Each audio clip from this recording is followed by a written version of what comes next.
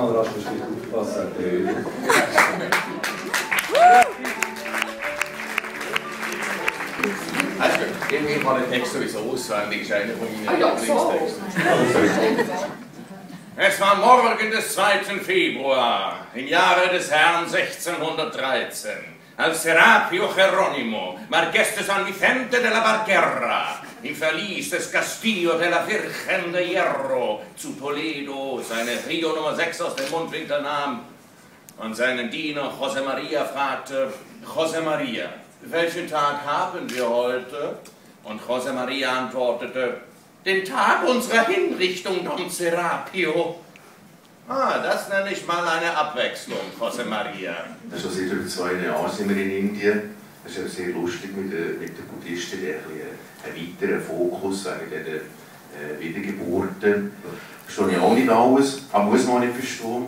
Wir waren diesen Sommer in einem Kloster im Himalaya, wo man drei Tage muss zu Fuß laufen muss, um dort überall herzukommen. Also völlig abgelegen, ohne Elektrizität und so.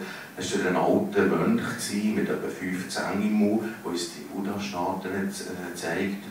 Und wir waren, äh, meine Frau war dabei, ihre Eltern und ich. Wir sind dort unterwegs im Himalaya, wir sind uns die Schwiegereltern. Und dann, der alte Mönch, währenddem wir die Buddha-Staaten anschauen, ist da unten so ein Viertel von Länge.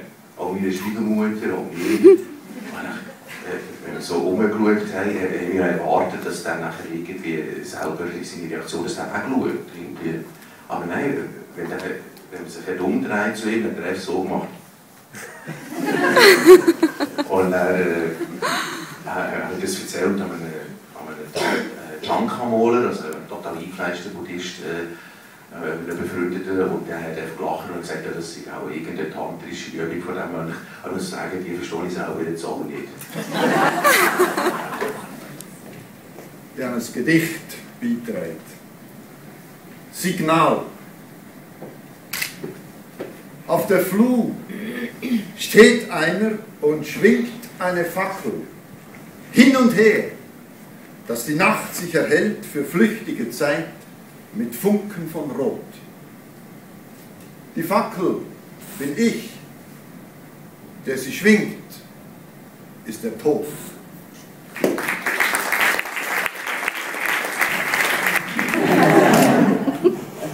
Hast du mir eine Frage, warum? Gerne. Gut, ich denke, wer sich mit Tod nie beschäftigt, der lebt gar nicht. Und ich habe mich von Anfang an eigentlich so weit ich mich mag zurückerinnern, mit dem Tod beschäftigt. Das da ist eine Art des altes Gedicht, aber geschrieben habe ich es mit 20.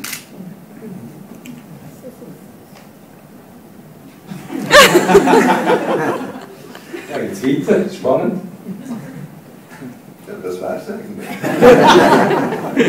20 ist altes Gedicht schreiben.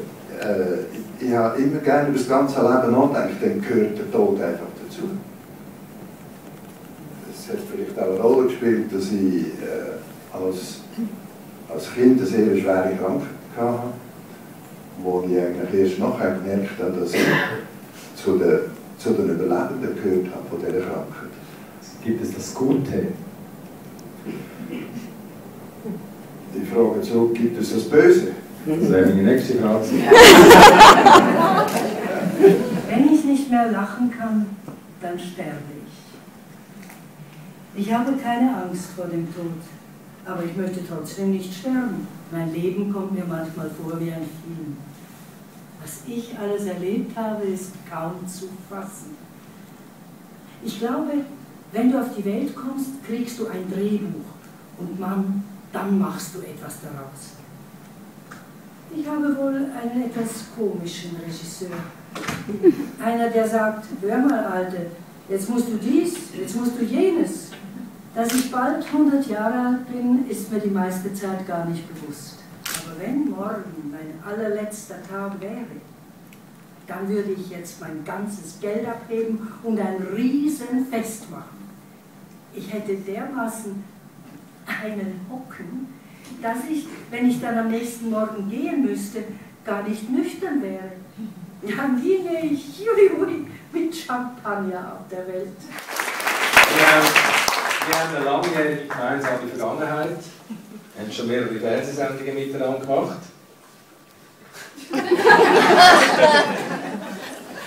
Wie wird man? Noch nie mal Hunderte. Ja, warte jetzt mal. Kommt da. Wie wird man Hunderte? Wie alt bist du? 99 Schrei mich nicht an. Wie wird man 99? Wie macht man das? der man noch gesund lebt. ich habe alles gemacht, was eigentlich ungesund ist. Außer geraucht und ja.